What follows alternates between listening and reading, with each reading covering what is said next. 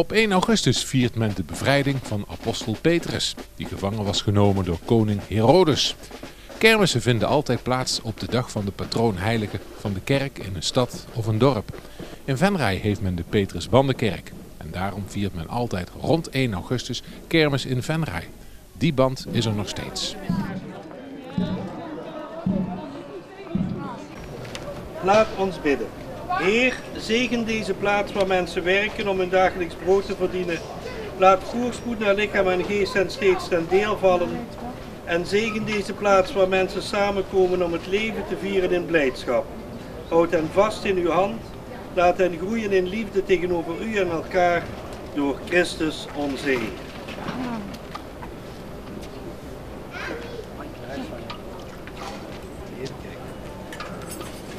Op vrijdagmiddag zegen Dekensmeets de attracties in.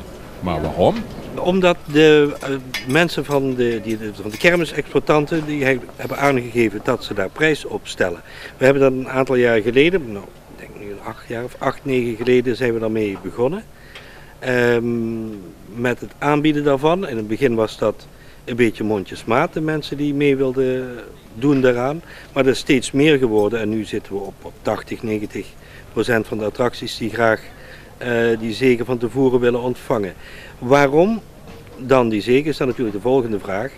Ehm, ik denk omdat het eh, goed is om ons te realiseren dat we als, dus dat wil ik ook uitdragen, dat we als kerk niet geïsoleerd zijn of opgesloten zijn in een gebouw en niks met de wereld te maken hebben. Want als kerk sta je midden in de wereld. Dit kerkgebouw staat ook midden, midden echt tussen de kermisattracties in. Dus je kunt niet zeggen dat je niks met de wereld te doen hebt als kerk. Hè. Je, je, hoort, eh, daar heb je een boodschap voor. Nou, dat is een van de redenen om dit te doen. Ehm, om te laten zien, gewoon om te, en om te, om te bidden van nou, God, hier werken mensen om hun brood te verdienen. Hier komen mensen om plezier te maken. En gewoon om te vragen, laat dat in een goede geest gaan. En laat mensen hier hun brood kunnen verdienen en plezier kunnen maken. En laat dat goed gaan. Gewoon om te vragen om zijn aanwezigheid bij, bij alles wat wij doen. Even later vond op de nostalgische kermis de opening plaats. Het startschot werd gegeven door wethouder Ike Busser. En dan komt er na lang werken een einde aan een lange tijd van voorbereiding. Maar wanneer begint men hier eigenlijk mee? Nou, dat begint eigenlijk meteen als deze kermis is afgelopen. Aanstaande woensdag hebben we al een eerste evaluatie met alle medewerkers aan de kermis en de kermisexploitanten. En vervolgens wordt dan gewerkt aan een nieuwe aanbesteding. Deze laatste week moet er hard gewerkt worden. Vooral het kermisteam, de kermismeesters zijn dan heel druk met het uitzetten van de plaatsen en het plaatsen van eh, alle eh, ja, deelnemers aan deze kermis.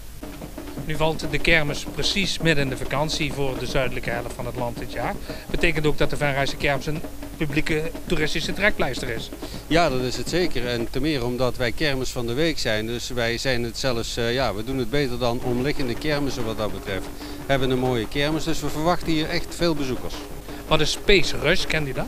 Ja, Space Rush dat is eigenlijk een extra attractie. Dat is een computerspelletje wat je in de etalages kunt spelen van Venray met je mobiele telefoon. Dus ja, als je daar langskomt en je ziet daar wat mensen met hun telefoon tekeer gaan in groepjes, dan zul je ook zien als je in de etalage kijkt dat ze daar met een schietspelletje bezig zijn. Hoe viert de wethouder zijn kermis? Eh, De wethouder die viert eh, de kermis uitbundig en eh, gedurende een aantal dagen. Uiteraard neem ik deel aan een aantal onderdelen van het programma, waaronder de loterij op woensdag. Maar daarnaast eh, ga ik natuurlijk met mijn kinderen en kleinkinderen de komende dagen ook de kermis op. Om die te laten genieten van al dit plezier, dit mooie weer en deze prachtige omstandigheden die we nu hebben. Ja, dat lijkt me inderdaad het moment om eh, inderdaad zo de schutterij te verzoeken om de kanonslagen te laten klinken om de kermis te openen. Dat is één.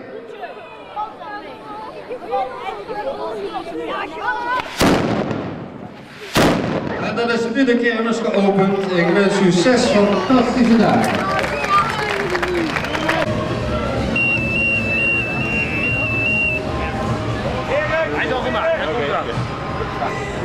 Het ene kunst en vliegwerk.